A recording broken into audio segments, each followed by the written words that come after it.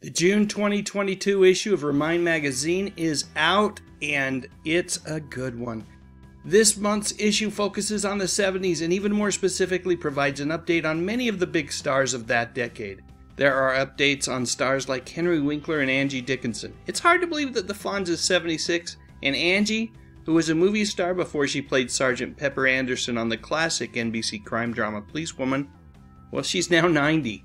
Good grief time just has a way of flying by.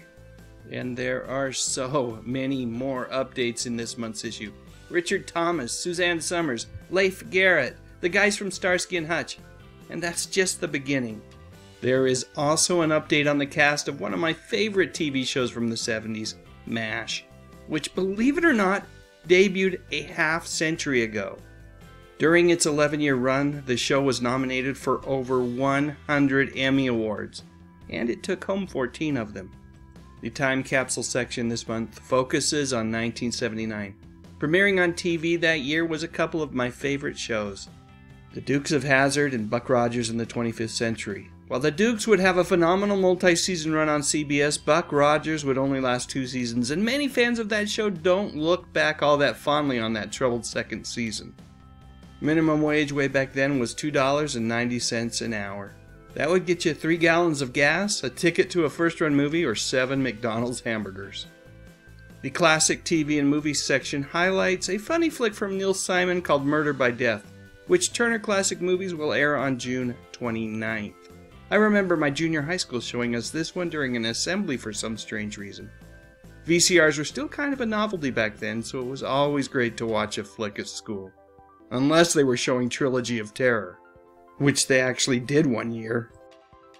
As always, there are oodles and oodles of puzzles to work through. Yep, 12 action packed pages of crosswords, word searches, Sudoku, and so much more. One of these days, I'm gonna win that 50 bucks. Just you wait and see.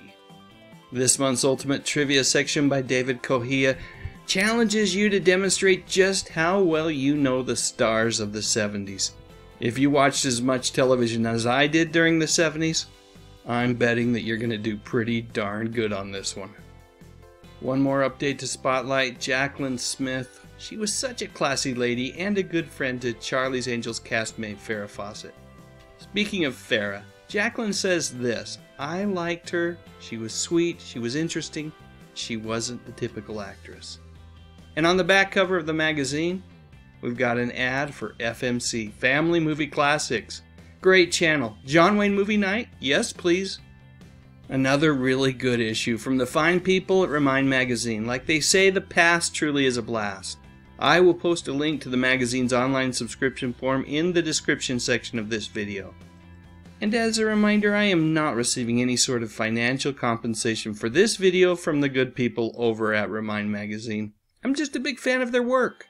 Folks, I'd love a thumbs up if you enjoyed this video, and I would be honored if you consider subscribing to my channel. I talk about music, movies, and television from the 50s, 60s, 70s, and 80s. You know, the good stuff.